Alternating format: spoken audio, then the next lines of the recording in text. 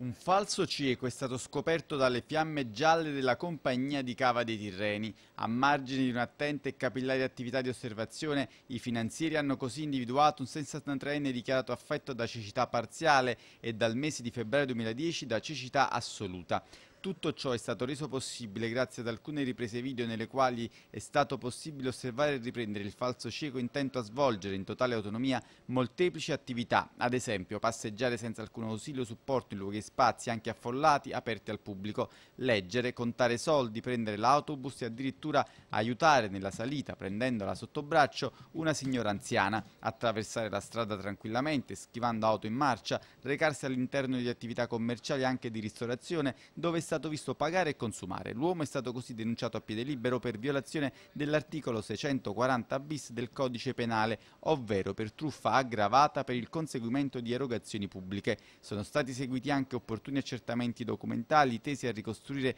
l'iter procedurale sanitario e quantificato l'ammontare complessivo indebitamente percepito, ricostruito analiticamente in circa 51.000 euro.